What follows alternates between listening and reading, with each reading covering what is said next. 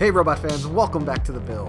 When we last left off, we were successfully controlling our spinning saber with the inner saber circuit we had built in the last video, and today we are going to tackle the all-important outer saber circuit. This video is sponsored by PCBWay. Come on people, who wants to deal with all this wiring when a circuit board can make all these connections for you? PCBWay makes it easy and inexpensive by giving you 5 boards for just 5 bucks. Make your projects cleaner and more efficient by checking out the PCBWay link in the description, and thank you to PCBWay for sponsoring this video. Looking back to our circuit board here, the last stage of setting up the inner circuit was connecting it to the outer saber via Bluetooth, which gave us our first little node of our outer saber circuit. But the jump start from the inner saber doesn't end there. If we look at a planogram of our current board, we can find quite a few other nodes to copy over from the inner side. This will give us a nice head start on the outer saber.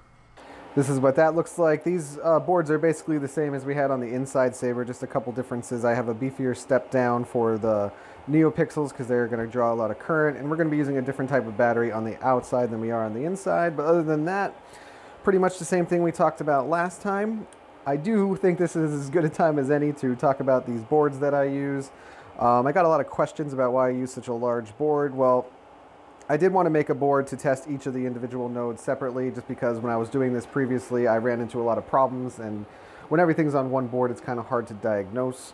But as far as why I make these boards so big, so when you order circuit boards, you are kind of forced to order at least five at a time, and a lot of times I only need one.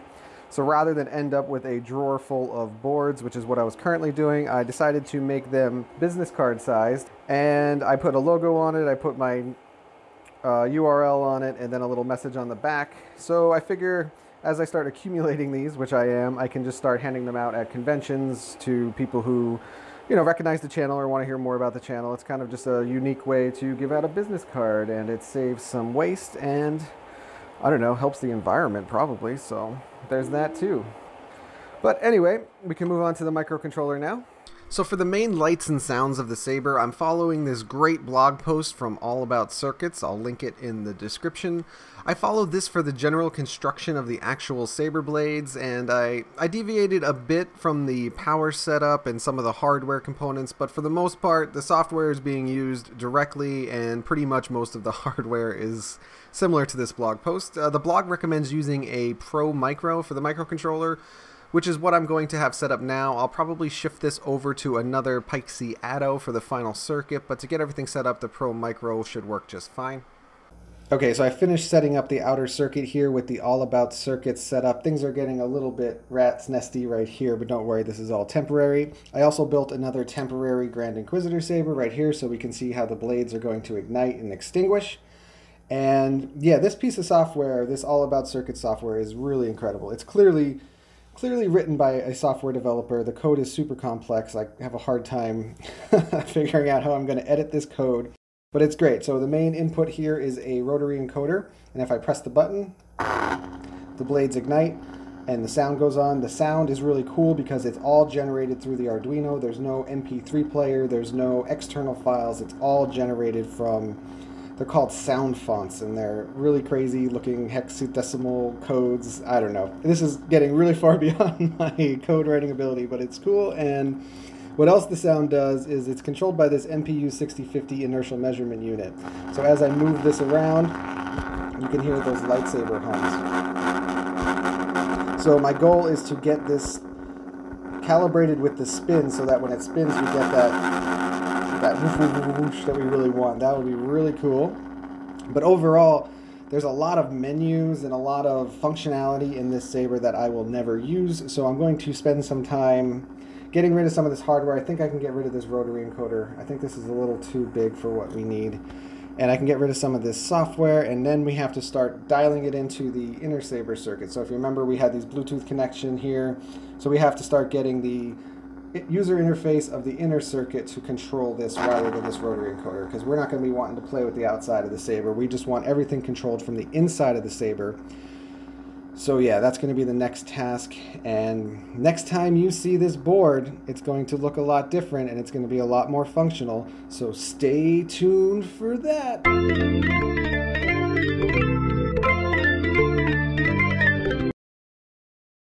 Okay, so maybe it doesn't look that much different, but it is a lot more functional, which is what we really want here. Um, it is now running completely off of battery power, so if we turn on the two sides of the Saber, you can see that once the Bluetooth connection is made, we can use the user interface on the inside circuit to turn the blades on. And we can also turn them off. So the function of the rotary coder has been replaced with the user interface on the inner Saber side and it's all controlled through Bluetooth. And so the way that the Saber is actually going to work is I'm going to push the uh, ignite button. Then if you look up here, I can still do the motor. And then I can extinguish the blades. And that's it. That's pretty much all the functionality that we need for this Saber. So I think it's safe to say the outer Saber circuit is complete. And that means we get a new prototype. Yes, check out this specimen of beauty. Adding the circuit onto this outer ring really took this thing to a whole nother level. I almost don't even want to cover this thing up with skins because it just looks so awesome. But we will get into all of this wiring and all of this construction more in the next video. And for now, we can just focus on doing this. we can control the outer blades with the hilt. That was the goal all along, and this means that we have successfully taken all of the nodes from that circuit board and put them onto their final place on the Saber successfully, and everything seems to be working as it should. There's sound coming out, which is a little quieter than I was hoping for, but we're gonna get more into that in the next video. For now, we can ignite the blades, we can extinguish the blades, which means we can do our first full test of the inner Saber circuit and the outer Saber circuit working together.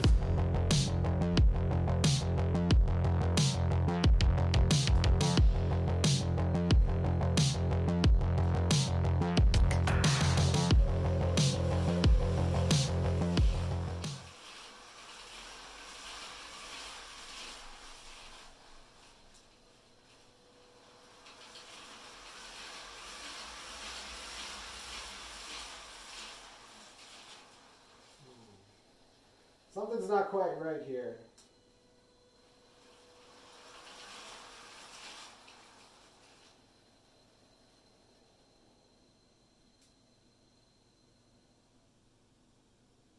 Hmm. Well, that was disappointing, especially for me. um, yeah, so as soon as I started spinning that thing, I could feel something was wrong. There was a lot more resistance. There was a lot of grinding happening that has never happened before. Um, I think I found what the problem is. If you look here, I'll get some close-up pictures, but if you look here, you can see that there's a pretty significant gap between this black piece and this outer piece. Uh, that's what it should be like, but as you come around to this side, I think that gap closes a little bit, and it's not quite as prominent as it is on the other side. So either this piece here or this piece here is a little off-center. I think it's fixable. I think I can just uh, sand those two pieces down. So that's the good news. The bad news is I don't think I could do that without taking the whole thing apart. Um, but the good news again is that I was going to take it apart anyway for the next video because we have to take all this out anyway. So the forecast for the future is positive. We will fix this. The forecast for this video, the remainder of this video that you're watching is on is a little more bleak. Um, I don't think we're going to be able to get it up and running by the end of this video, so this is where we're going to end it. I know. I'm to start the sad music now. I'm to start playing the, the sad score. Um, yeah, I'm super bummed. I was really looking forward to spinning this thing all at once, and I was to play my subscribe animation right as the music hit its hit its peak. But alas, here we are in this this pit of despair. That's what you can expect from uh, this channel. Just ups and downs. It's a it's a roller coaster of emotion. So I'm to try to make this really sad. I'm to pump up that music a little bit. Going to trail off and just say, you know, like, subscribe if you want to. You don't have to. And I guess I'll, I'll see you guys next time, maybe. Bye.